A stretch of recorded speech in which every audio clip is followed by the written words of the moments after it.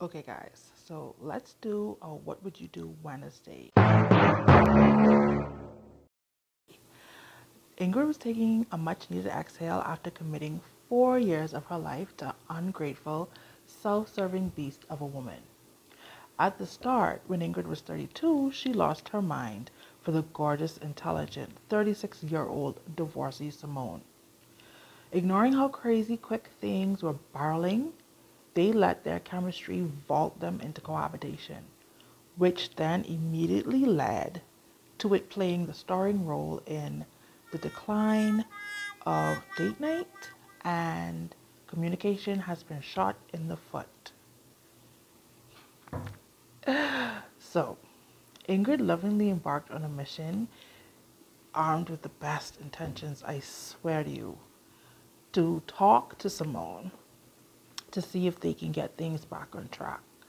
However, it turned out that engaging in conversation with Simone was like trying to open a jar of pickles. Plenty effort, little to no results. So, on top of that, we had the difficult time of stomaching Simone's ability to turn anything into a big to do. I mean, just an uproar.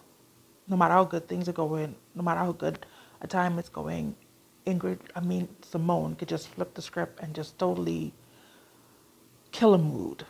So Ingrid was stomaching that on top of everything else.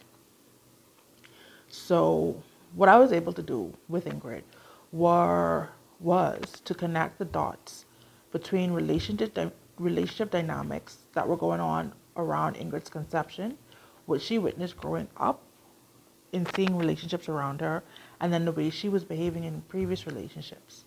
And in carving time alone, she assessed what we discussed. She considered whether or not she should continue the relationship, and then at one point she introduced Simone to me. Ooh.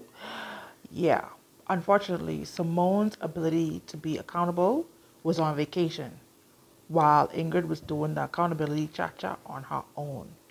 So basically, this concluded with Simone coming home to an empty place one day, just wondering how Ingrid had stealthily pulled off the greatest disappearing act in history. So, my question is what would you have done?